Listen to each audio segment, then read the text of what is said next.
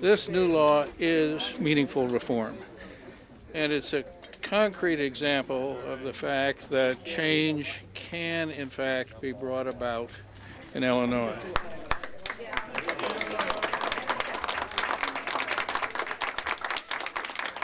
Democracy only works well when citizens lean on it every day.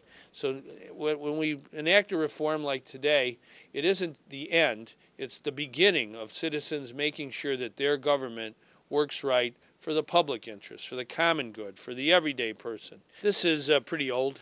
Uh, I got it uh, in 1976. Um, I was involved in a petition drive that gathered 635,158 signatures of everyday people, autographs of citizens uh, who wanted reform in Illinois. We had a group called the Coalition for Political Honesty. And this was from 1976, uh, 33 years ago. And I knew back then, uh, 33 years ago, that there was in the hearts of the people of Illinois a zeal for reforming our government from top to bottom to make sure that citizens and people come first. When we sign this bill today, I think it's important to remember all those citizens who have come before us. They may have passed on, but they are committed to the same cause we are today in making sure that our government is honest and clean and open, uh, that there is competition and fairness. Uh, those are fundamental principles of American democracy. For the first time in Illinois history, there'll be limits on money coming into candidates at the front end of each campaign.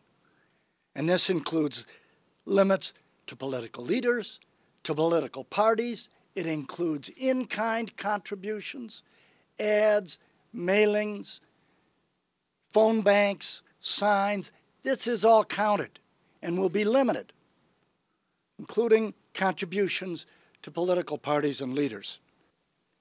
This bill is a tremendous step for reform, openness, transparency, and limiting big money in campaigns in this state. And there's a lot of passion out there for reform. And this goes a long way towards addressing that.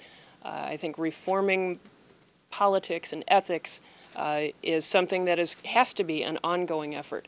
This is a big step this is not the last step. I think we have to take it further. That's what this bill moves us toward in the direction, in that direction in the state of Illinois, that democracy is what works rather than the voice of big money. So I'm very pleased to be here uh, and celebrate this today. This is a dramatic step forward for, for Illinois. The, the first ever caps on campaign contributions sends a message that state government is not for sale. I think in the long run, we'll find that even more important are the dramatic changes in the disclosure and transparency requirements and the consequences for folks who are scofflaws and don't pay attention to our campaign finance laws. We believe in openness in government, in democracy. So I think uh, the people of Illinois uh, want us to continue uh, carrying on the mission that never stops of making sure we have an honest government.